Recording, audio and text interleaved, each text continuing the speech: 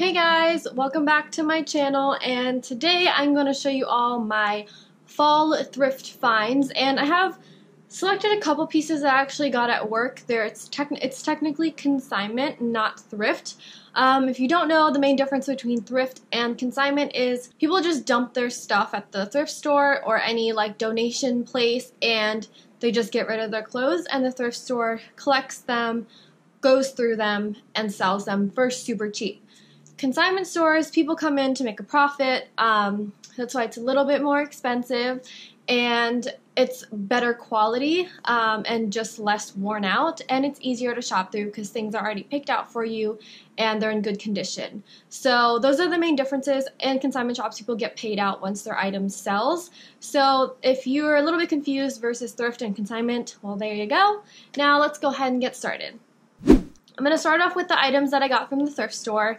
This is one of my favorite thrift store this is one of my favorite thrift thrift store trips of all time because um, I feel like I just got really good deals. And I'll start off with the accessories. And I got this chainmail belt that I'm obsessed with. I'm still trying to figure out how I can adjust this because it is a little bit too big. So when I wore it, I sewed like well, I wove a piece of thread through and I just had it like folded up like this. But I kind of really want to figure out how I can actually repair this and make it so it can fit me. Um, but that is like a project for the very, very far away future. Next, I have suspenders. I haven't had suspenders in ages. I think last time I had suspenders was like in seventh grade. And um, this one's got a really, really cool paisley print with it and I'm obsessed. And I really like the silver like hardware and stuff, so I'm just gonna wear it with like my jeans or something. But good find, three dollars. So was the belt. This was one of my favorite finds ever at the thrift store. I was walking down the aisle and I was like, da da da da, let's look for some black pants. And then I saw this knit and I was like, is that St. John? That's St. John. And I was right. Lo and behold, there was St. John. And if you don't know what St. John is, it's very, very, very expensive knitwear. And they do a lot of basics and lots of knits. This is their this is why I was able to point it out because their knit is very unique. These pants retail for like four, $400, $500. And actually, this is St. John Basics, so it might be a little bit less expensive. They have different lines that, you know, different levels of price range. And I think this St. John Basics might be the cheapest one, but I could still probably sell this for $150. And I got this for $3.99. Can you believe that? I can't believe it myself. I know. I was like, oh, this was meant to be for me, and it fits, so I might wear it for a little bit and then sell it. Who knows?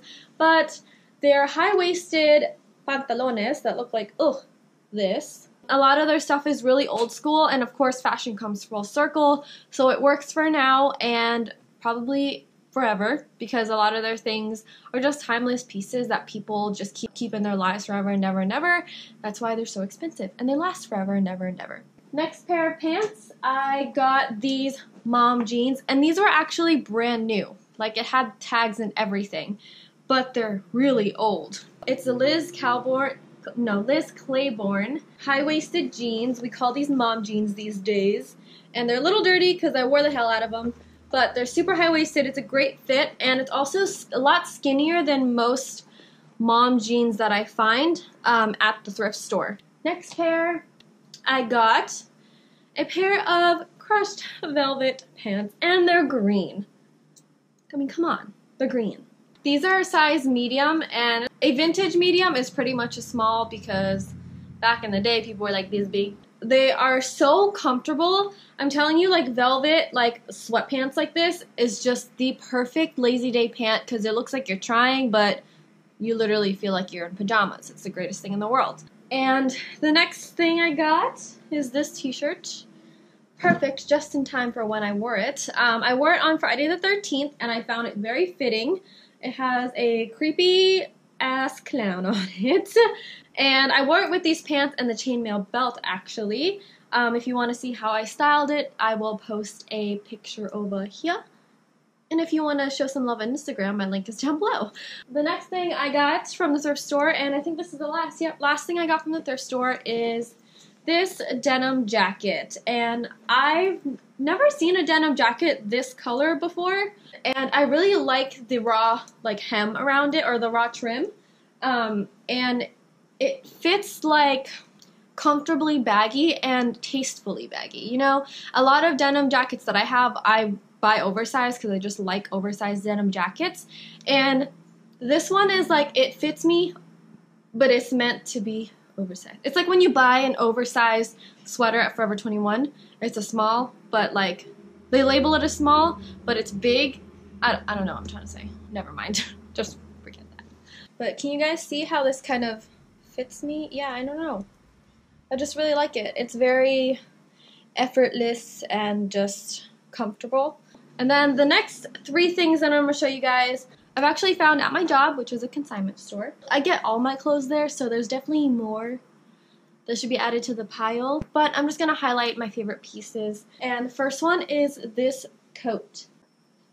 I love this coat. I like anything with a collar. I love the length of it. It hits me right at my knees. And um, the collar is amazing. I love it. And it's wool and cashmere blend. And I think it's pretty old J. Crew. It's made in the Philippines. It's 90% wool and 10% cashmere. And it's from holiday 2008. This is 10 years old. It's still, it's such a timeless cut that it worked in 2008 and it's to work in 2018. You know?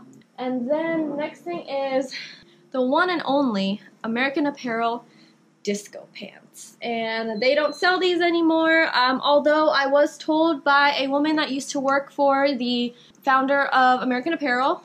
Apparently he's cuckoo, is what she said but he was a pleasure to work with. Apparently, he started a new line, which he is bringing these back, the signature disco pants from American Apparel. They're like surprisingly comfortable because they don't look like they're comfortable at all in any way, shape, or form.